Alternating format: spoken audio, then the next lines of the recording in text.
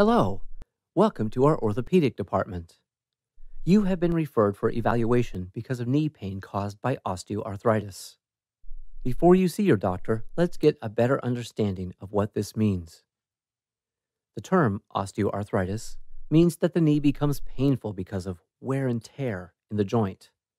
Let's take a closer look. The knee is a simple joint that works like a hinge. The knee flexes and extends like a door opens and closes. There are protective layers of cartilage between the bones where the knee joint moves. The cartilage, which includes thick meniscus tissue, absorbs shock and allows for smooth motion. With osteoarthritis, the knee becomes painful more easily because the cushioning cartilage in the joint gets torn, frayed, and thin. This structural damage leads to narrowing of the protective space between the bones.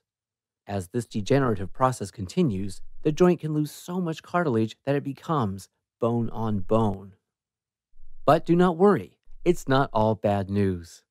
You have many options lifestyle adjustments, home remedies, occasional medical treatments, and some common sense can help you avoid osteoarthritis pain and still enjoy most of your favorite activities.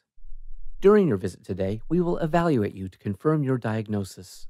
We can provide treatment options like home care, medications, and injections. Also, we can order braces, assistive devices, and physical therapy. If your knee hurts despite non surgical care and your knees are bone on bone, you may be a candidate for a knee replacement which we can discuss. Thank you for your attention. We look forward to helping you.